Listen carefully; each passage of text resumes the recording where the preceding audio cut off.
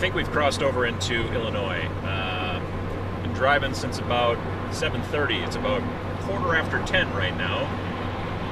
I don't exactly know if we're in Illinois or not. I mainly drive by GPS, so I don't necessarily know where I am at any given time. But we're we're nearly there. We should be there in about another hour. Um, we've gone through snow, sleet, heavy rain, heavy wind, and now it's uh, lovely and sunny. Um, except now we're in construction, so we'll be there pretty soon. And I'm looking forward to getting into the hotel room and figuring out where we're going to be going from there. Talking to some people. Um, from what I understand, Chung from War Games Consortium is already there.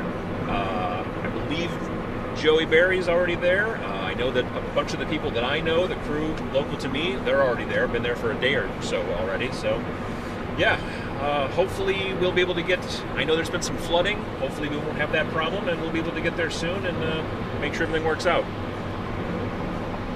All right, so we're finally in Chicago. Well, Lombard, and uh, it's 11:32. So we made pretty decent time. We've checked into our lovely hotel room, and uh, everything's working out pretty well so far. We had some crazy weather on the way here. It was um, at one point it was sunny, raining, and snowing all at the same time. But I think that we're going to be set up soon, and we'll be going over to the convention and seeing how that stuff works out.